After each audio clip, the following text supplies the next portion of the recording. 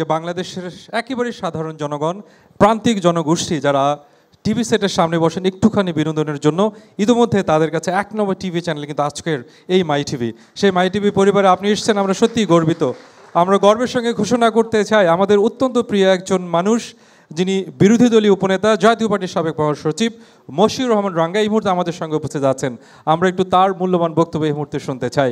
কেমন লাগছে আজকের এই শুভক্ষণে উপস্থিত থেকে? জি, ধন্যবাদ উপস্থাপক মহোদয়কে। ধন্যবাদ সেই সঙ্গে মাই টিভির যিনি এত কষ্ট করে একটা প্রতিষ্ঠান করেছেন আমার অত্যন্ত স্নেহের ছোট ভাই, সাথী।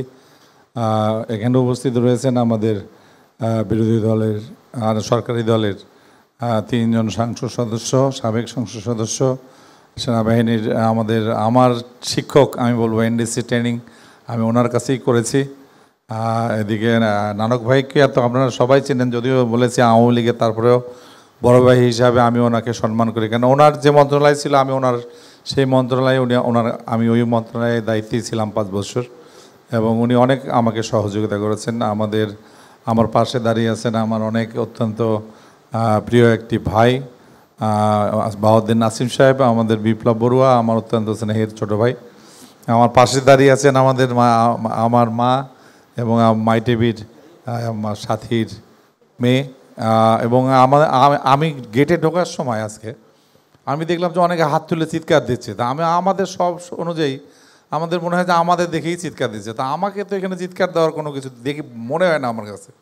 আমি চিন্তা করে দেখলাম যে কে এরা?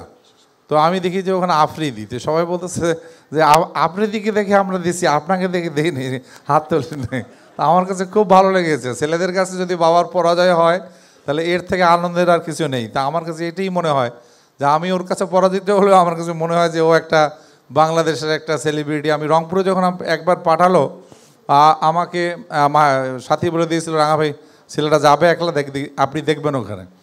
তো শহীদপুরে দেখা গেলো যে আড়াইশো মোটর সাইকেল ওকে নিতে আসছে ওখান থেকে রংপুর থেকে। তার মধ্যে আমার দলের অনেক ছেলেপেলে আছে। আমি আবার আমার ছেলেকে পাঠিয়ে দিয়েছিলাম যে একটু দেখো তো ওকে, ও কি ও সমস্যা যেন না হয়। তো বলে যে, বাবা, ওকে কি দেখব? ও আমাকেই ওর দেখা লাগছে। এরকম একটা অপোজিশন হয়ে গেছে এখানে। তো সুতরাং এইটা অর্জনটা করা অনেক কঠিন, অনেক কষ্টের। এই স্বাধীনতা যুদ্ধের যে আমরা বঙ্গবন্ধু না থাকলে যেমন আমরা স্বাধীনতা একটা পেতাম না, বাংলাদেশ একটা পেতাম না ঠিক সেরকমই একটা ছোট্ট প্রতিষ্ঠানও আমরা এটা প্রমাণ করতে পারি যে এটা যদি আজকে স্বাধীন না থাকতো হয়তো এত সুন্দর প্রতিষ্ঠান আমরা গড়তে পারতাম না। তো আমি এই জন্যই ধন্যবাদ জানাই যে বাংলার সংস্কৃতির সঙ্গে মিলিত আজকে পহেলা তার পহেলা বৈশাখ। তো পহেলা বৈশাখের দিনেই আজকের জন্ম। সুতরাং বাংলার সংস্কৃতির সঙ্গে মানে কি ঐকান, ঐক্য মানে অঙ্গ প্রত্যঙ্গভাবে তারা জড়িত এবং তাদের আমরা, আমি সবসময় মাই টিভি অনেক সময়, আমার সবসময় ওটা দেয়াই থাকে। কারণ আমি যখনই টিভি দেখি, আগের মতো তো আর টিভি দেখার সময় হয় না কিন্তু। তারপরে দেখি কাজের মানুষগুলো বসে বসে কাঁদতেছে ওরা দেখে। আমি কে কাঁদ, কাঁদতেছো কেন? কী হয়েছে তো বলে যে, একটা সিনেমা হচ্ছিল, একটা দুঃখের সিন এই জন্যই আমরা কাঁদতেছি। তো এরকম মানুষ বাংলাদেশে এখনও আছে যারা মানে সিনেমা দেখে কান্নাকাটি করে এবং তারা বিশ্বাস করে যেটা বাস্তবতা। তো এই বাস্তবতাগুলো তো অন্য টিভিতে আমরা পাই না। আরও অনেক অনুষ্ঠান আছে, আমি দেখি আমাদের বাড়িতে মোটামুটি যে কয়েকটি টেলিভিশন আছে, কাজের মানুষদের জন্য একটা আছে, ওরাও মাই টিভি সব সময় দেখে। তা সুতরাং এটা একটা অর্জন। আমি মনে করি একদিনেই এই অর্জন সম্ভব হয়নি। কলাকুশলী যারা রয়েছেন, তারাও এর মধ্যে অবশ্যই এটা সহায়তা করেছেন। ছেলে মেয়ে তারা সহায়তা করেছেন।